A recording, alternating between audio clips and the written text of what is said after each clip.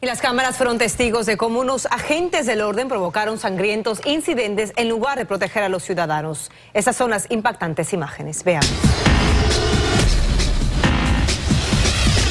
Una mujer de 44 años fue detenida por presuntamente conducir bajo los efectos del alcohol y estrellar su auto contra una casa en la Florida. Durante su arresto, la cámara de la patrulla grabó cómo los uniformados la lanzaron bruscamente contra la carrocería del vehículo y luego contra el asfalto.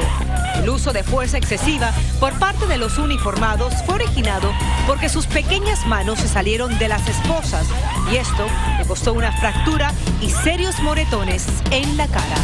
Las autoridades investigan la violenta actuación de los oficiales. Otro patrullero fue captado en video al momento en que chocó contra una motocicleta que dio varias vueltas sobre el vehículo policial.